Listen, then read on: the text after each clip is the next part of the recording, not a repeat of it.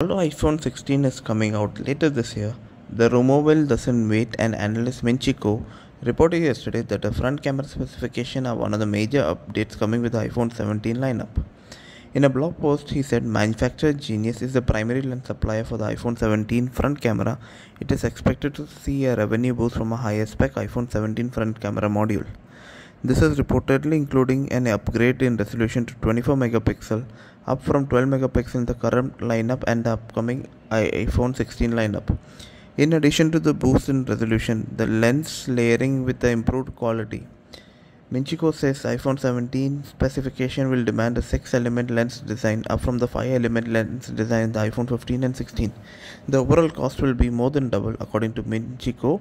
This will significantly upside for the supplier of Genius bottom line. Uh, iPhone 16 will have, have an upgraded 14 megapixel ultra wide sensor. This is expected to behave similarly to the 14 megapixel main sensor in current iPhone lineups, where computational photography samples raw 14 megapixel information into 24 megapixel final output.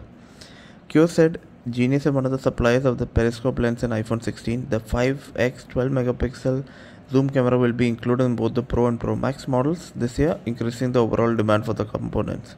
Genius is the exclusive supplier of pancake lens used in iPhone Vision Pro.